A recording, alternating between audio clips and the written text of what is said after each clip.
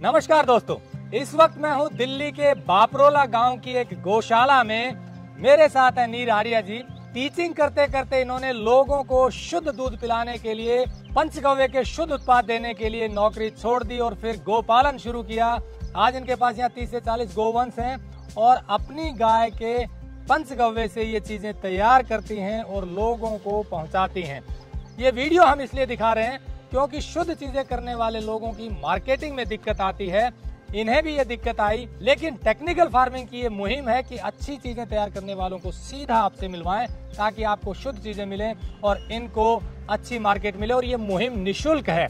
तो चलिए आज इस वीडियो में आपको दिखाते हैं कि सामने ये जो प्रोडक्ट है, ये कैसे तैयार होते हैं, सेहत में किन किन चीज़ों में फ़ायदा करते हैं, कौन सी बीमारियों को ठीक करते हैं। जी हाँ सही सुना आपने। ये जो सारी चीज़ें आप देख रहे हैं, खाने और पीने वाली ये सेहत को फ़ायदा देती हैं, ये तकरारिष्ट है, ये दूध है, ये घी है, ये महापंचगव्य धृत नश्य है, जो नाक में डालते हैं और बहुत सी चीज़ों को ठीक करता है। ये छाछ है, ये फ्लेवर्ड गोमूत्र है, जिसे संजीवनी रस का नाम दिया गया है डॉक्टर राकेश अग्रवाल जी के द्वारा। ये गोमूत्र का अर्क है, ये गो अर्क है, और ये देखिए, गोबर से बने हुए दिए हैं, ये हवन सामग्री है, ये धूप बत्ती है, और ये देखिए, खाद है, देसी गोबर की। ये सारी चीज़ें सेहत के लिए फ़ायदा करती हैं तो चलिए नीर आर्या जी से जानते हैं कि ये कैसे तैयार करते हैं, किस किस चीज़ में फ़ायदा करते हैं और आप इन्हें कैसे ले सकते हैं।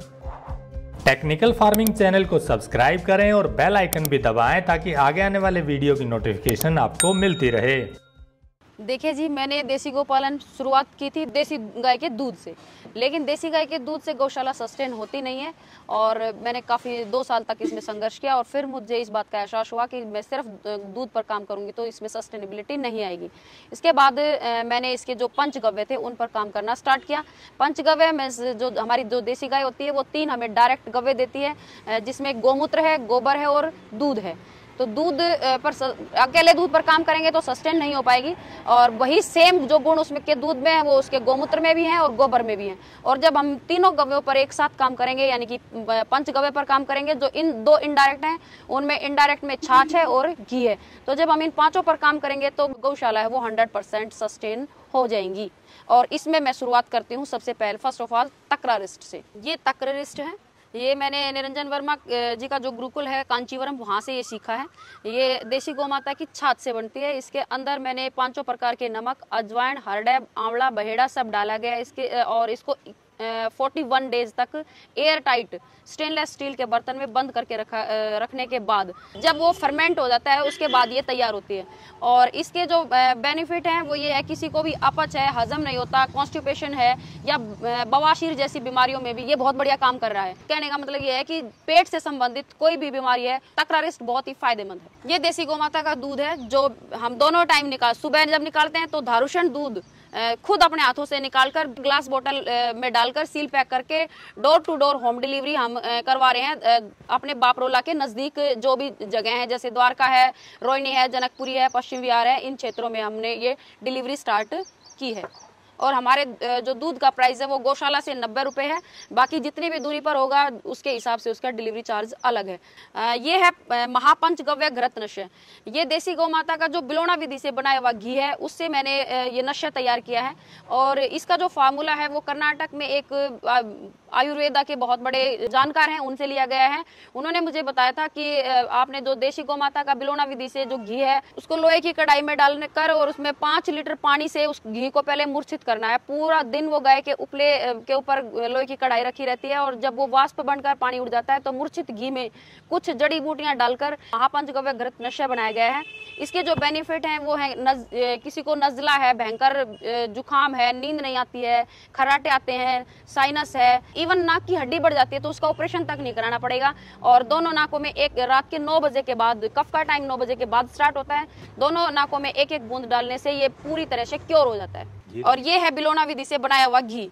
जो मैं अपनी देसी गौ माता का जो दूध हम सुबह निकालते हैं, जो दूध चला जाता है, उसके बाद लगभग 25 से 30 लीटर दूध हर रोज बच जाता है। उसको हम गाय के उपले पर गर्म करते हैं और रात को जब वो ठंडा हो जाता है तो उसको जो बिलौना, मिट्टी का बिलौना, उसमें जमा देते हैं और सुबह उससे मक्खन निकाल कर और शाम को उसको फिर से मक्खन से घी बनाया जाता है और ये जार में डालकर आप लोगों तक पहुँचाया जा रहा है। और ये हमारी देसी गौ माता के दूध से बनी, बिलोना विधि से बनी छाछ है, जो हम हमारे आसपास के एरिया में सुबह जब दूध जाता है, सुबह के दूध के साथ इसको भी डोर टू डोर भेज रहे हैं। ये है फ्लेवर्ड गोमूत्र।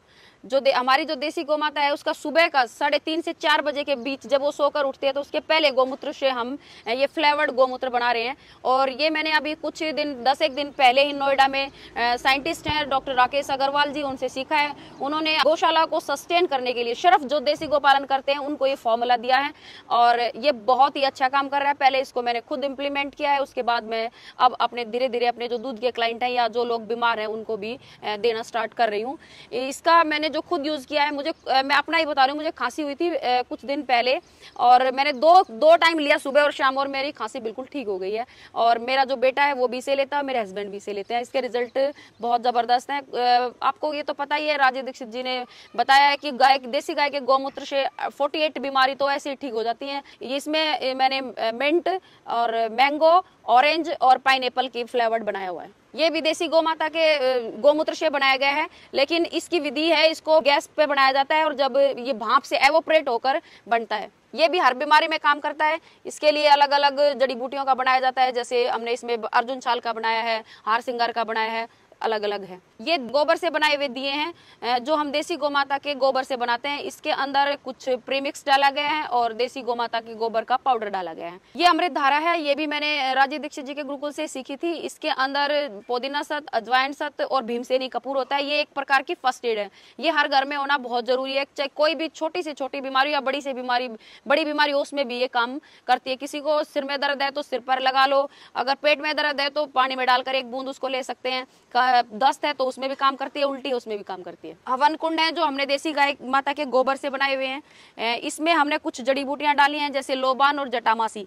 जब हम इसको, इसके अंदर डालते हैं तो इसकी खुशबू हो जाती है। जैसे दिल्ली जैसे शहरों में हर रोज हवन करना तो पॉसिबल नहीं है, लेकिन अगर हम इसमें से एक हर रोज सुबह अपने घर पर जला देंगे तो उससे हवन की अनुभूति होना स्टार्ट हो जाती है। नेक्स्ट ये है, ये खाद है।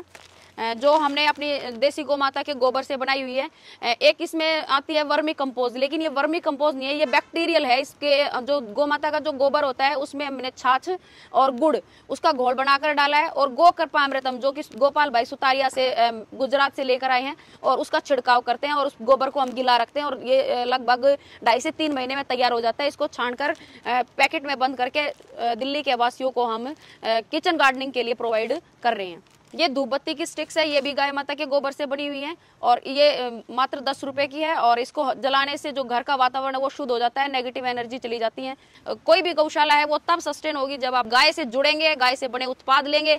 ये ज़रूरी नहीं होता कि जो गाय पाल रहा है वही गाय को पाल सकता है, जबकि जो गाय के जो उत्पाद है, अगर उनको खरीदेगा तो भी गौशालाएँ सस्टेन हो सकती हैं। तो इस तरह से देसी गाय के पंच गवे से ये सामान बनाया है। ये मैं खुद भी यूज़ करती हूँ और चाहती हूँ कि जो लोग बीमार हैं या जिन लोगों को शुद्ध सामान की आवश्यकता है वो हमसे इसको परचेज कर सकते हैं। गौशालाओं को सस्टेन करने के लिए ये बहुत ज़रूरी है, चाहे वो कहीं भी गौशाला हो। देसी गाय की, उसे देसी गाय के दूध के साथ साथ इन अन्य प्रोडक्ट पर भी काम करना पड़ेगा, अगर उसको सस्टेन करना है तो। तो दोस्तों, जैसा नीरारिया जी ने बताया, बिल्कुल शुद्ध चीज़ें तैयार करती हैं और आप तक पहुँचाना चाहती है। इसीलिए हम ये वीडियो दिखा रहे हैं। आपको ये चीज़ें चाहिए तो नंबर दिया हुआ है, आप इनसे ले सकते हैं।